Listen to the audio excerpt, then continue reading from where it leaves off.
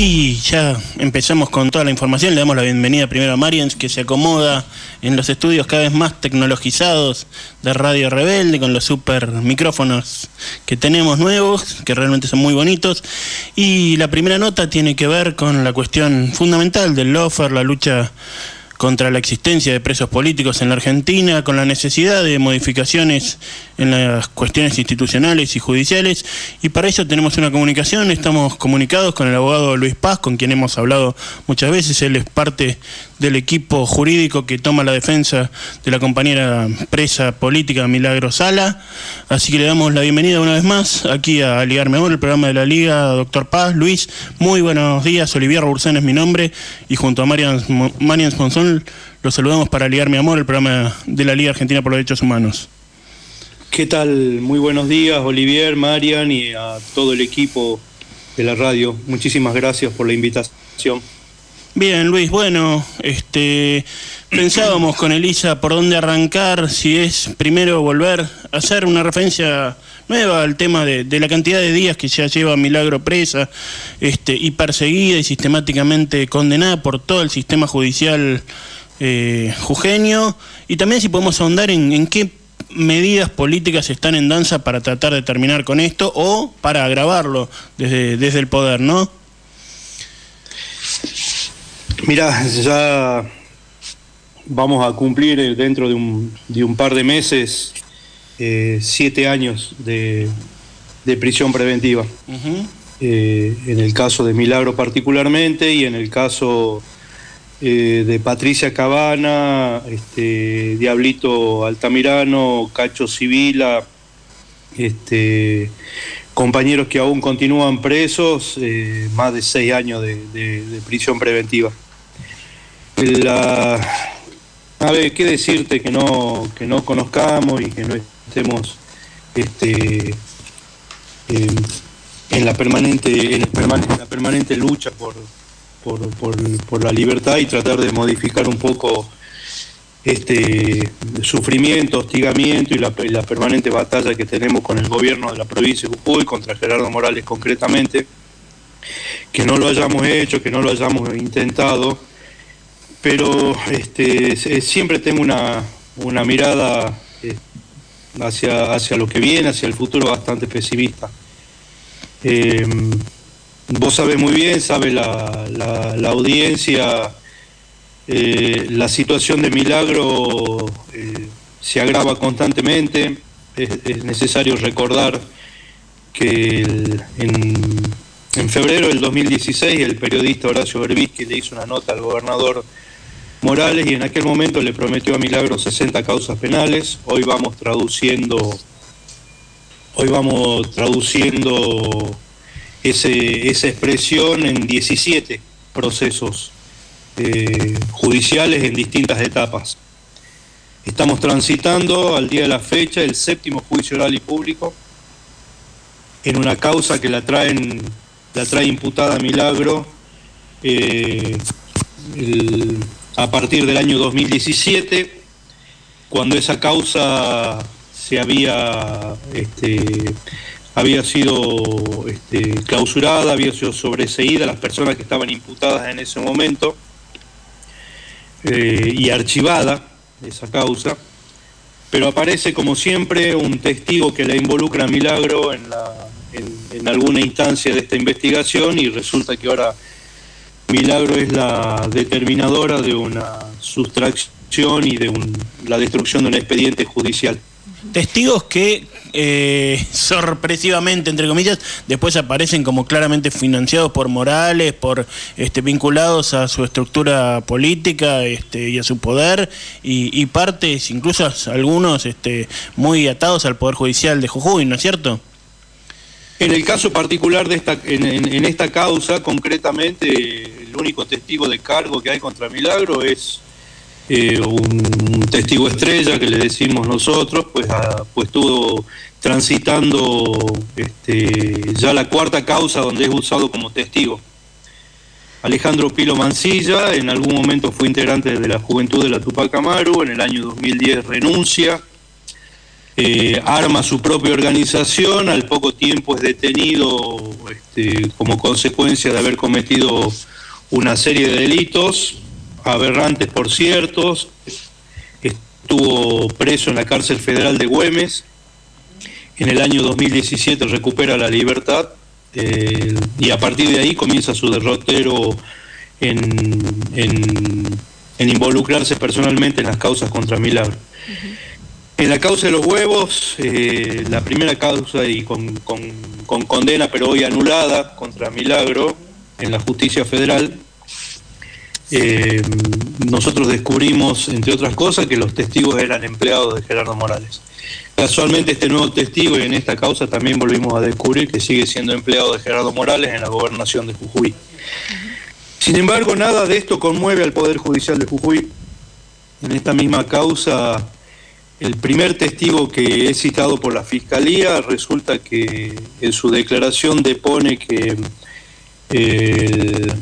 estaba ahí a los efectos de voltear al abogado Bellido, que en ese momento estoy citando textualmente, ¿no? Voltear al abogado Bellido, que es uno de los abogados que está imputado y procesado junto con Milagro.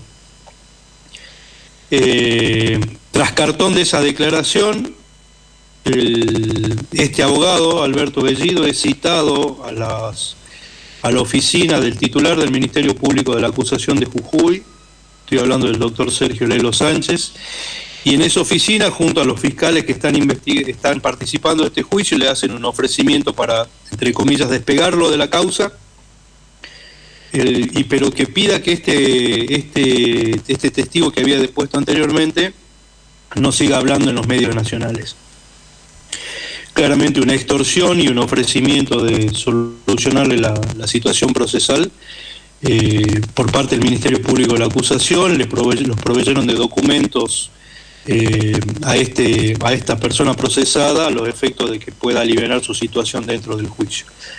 Todo esto ocurrió el 18 y el 19 de agosto del corriente año. A partir de ahí en adelante eh, venimos todas las semanas citados a juicio y suspendidos por razones de salud de este abogado que tuvo un infarto en medio de una audiencia, estuvo este, una operación al corazón este, en el mes de septiembre y actualmente está en, proceso de recuperación, pero no puede asistir a los juicios por recomendación de su de su equipo, de su de su médico, el, el médico que lo que lo operó del corazón. Eh, Luis, Luis Paz, eh, con quien estamos dialogando, es abogado del equipo de, en defensa de los presos y presas políticas de Jujuy. Eh, Quería preguntarle eh, cómo está Milagro al día de hoy de salud, ¿no? hablando, este, pensaba en estos siete años y también, bueno, eh, de paso le pregunto sobre la situación en Jujuy con respecto a esta decisión de cambiarla o reformar la Constitución, que eso se aprobó, lo que se tiene que aprobar ahora es eh, ver cómo se reforma esta Constitución y qué, qué elementos se le, se le incluyen o se le quitan, ¿no? Además del desdoblamiento de las elecciones que tiene pensado Gerardo Morales. Bueno, respecto a la primera pregunta, este, Milagro, como todos sabemos también, viene atravesando un, eh, problemas de salud y problemas eh, psicofísicos básicamente, no solamente por el encierro y por el hostigamiento permanente, por la permanente amenaza de trasladarla a la cárcel común como pide el Ministerio Público de la acusación, este, sino por la gran cantidad de, este, entiendo yo, el, cargas que tiene eh, Milagro y que intenta desde la misma desde el mismo encierro domiciliario intentar solucionar y ver los problemas que estamos pasando muchos de los jujeños y que ella habiendo sido una, militante y una mujer tan activa en el campo popular en la provincia de Jujuy está como atada de pies y manos para intentar darle una, una mano a la gente aquí en Jujuy. Eh, Milagro está complicada de salud. Este, y respecto de la segunda pregunta, en, el marco del pedido de reforma que hizo el gobernador de Jujuy, ciertamente se aprobó en la legislatura una ley de la necesidad de la reforma, pero en esta última semana, cuando se le agotaba el plazo al gobernador para, hacer la convocatoria y para, para llamar a elecciones constituyentes, luego de seguramente haber recibido noticias de sus, de sus este, órganos de, información y de sus órganos de prensa, que la, población y la mayoría de la ciudadanía de Jujuy no estaba de acuerdo con este, con este intento. Eh, en una conferencia de prensa postergó el llamamiento este para, es probable que sea entre febrero y mayo del año próximo, junto con las elecciones generales. Como vino haciendo todo este último tiempo, desdobla las elecciones nacionales de las provinciales y en las elecciones provinciales intentará hacer el llamado a, elección constituyente. Hubo un rechazo mayoritario de la población de Jujuy a que esta reforma se haga eh, y estas elecciones de, constituyentes se hagan eh, este, rápidamente como lo había propuesto el gobernador en Jujuy. Los problemas de la ciudadanía, como la mayoría del país sucede, son otros. Este, la, gran desocupación que hay en la provincia de Jujuy, la gran desigualdad que hay en la provincia de Jujuy, los salarios de miseria que están pagando a los, a los estatales, este, la falta de paritarias. Entonces, los problemas reales de Jujuy son otros y que eso se ha visto reflejado en estas encuestas, en estos informes que recibió el gobernador últimamente, lo que hace que este, postergue esta, este, esta inquietud que tenía él de reforma. Esa reforma concretamente apuntaba, eh, yo lo tengo como, como, dividido en tres capítulos. Uno de los, en general la reforma apuntaba eh, claramente un retroceso en las políticas sociales, políticas este, y financieras de la provincia, eh, un retroceso eh, muy grave porque incluso hay capítulos que desconocen la existencia de la Constitución Nacional y los derechos que están consagrados en la Constitución Nacional. El segundo capítulo, o la segunda parte que yo tengo como identificada es eh, un grave retroceso en las garantías democráticas, puesto que prohíbe claramente el derecho a la, a la manifestación, el derecho a la libre expresión y el derecho este, a la protesta.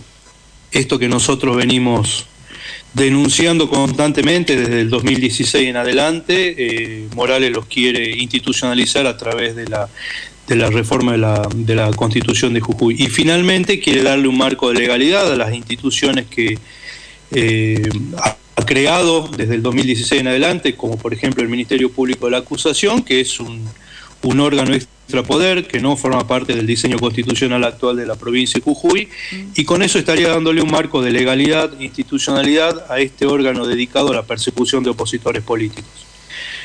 A todo esto la, población de Jujuy le dijo que no, este, y ha sido postergado ¿no? el, llamado a, constituyentes. Veremos qué pasa el próximo año esto último es importante, pues bueno, es por lo menos un nivel de conciencia en poner un límite a Morales. ¿Crees, Luis, y para ir cerrando la nota, que, esto va a significar una posibilidad, con todas las dificultades que tanto vos como muchísimos de nuestros invitados eh, y entrevistados sobre el tema nos han manifestado, de, lo difícil que es hacer política y, y, movilizarse y manifestarse sin ser víctima de la represión en Jujuy? ¿Pensás que puede significar un grado de despertar las masas por abajo para, para enfrentar a Morales y para, para cambiar la situación terrible que se vive en esa provincia? Mira, evidentemente la, la, movilización popular eh, tras, tras, el anuncio del llamado a elecciones constituyentes implicó un, claramente un, despertar, ¿no? hay, hay como, una, como un horizonte nuevo. Eh, yo apuesto a que esto continúe de esa manera, espero que las bases sigan movilizándose. Ahora de la dirigencia espero muy poco, ¿no? De la dirigencia opositora en la provincia de Jujuy. No está a la altura de las circunstancias, el marco de unidad en la provincia de Jujuy es muy dificultoso, el peronismo está explotado en 28.000 partes. La conducción del peronismo claramente es, mantiene una sociedad política, financiera, económica con el gobierno de Jujuy Eh, por lo tanto, yo espero que el, resto de la ciudadanía, el resto del ciudadano a pie y el resto de, la, de, de, las bases sociales, populares, políticas, sindicales que hay en la provincia de Jujuy, eh, continúen en este estado de movilización y, con, y que se lleven puesto por delante a la dirigencia que no está haciendo lo que tiene que hacer eh, y que claramente indicado que el rumbo es otro. Totalmente. Ojalá que, así sea. Luis Paz, abogado, miembro del equipo jurídico de Milagro Sala y de los demás presos políticos en Jujuy. Muchísimas gracias por esta nueva participación en el programa y obviamente este micrófono siempre a tu disposición. Muchísimas gracias a ustedes y a todo el equipo por esta nueva invitación. Un abrazo.